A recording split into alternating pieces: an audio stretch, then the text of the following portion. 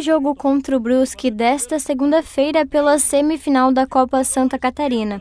A partida em casa tem início previsto para as 8 e 10 da noite. O Atlético Tubarão terminou a primeira fase da competição em terceiro lugar na tabela. A equipe do Brusque é uma equipe que é muito, muito rápida no ataque, uma equipe que, que gosta muito de atacar. Então é saber se defender bem, saber estar próximo do adversário para não deixar receber sozinho, como o Pingo tem, tem pedido para nós.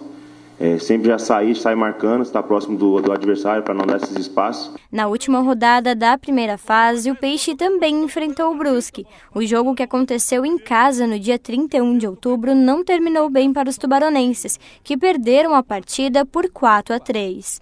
Foram gols que, que assim, de um pouco de baixo nível de concentração, como, como a gente diz, né? Algumas bolas que eles encontraram passes de, com jogadores livres, e isso não pode acontecer dentro de uma partida você ter um jogador totalmente livre no seu campo de defesa. Quanto à torcida, a gente pede que eles venham nos incentivar, venham acreditar no clube, no, no grupo.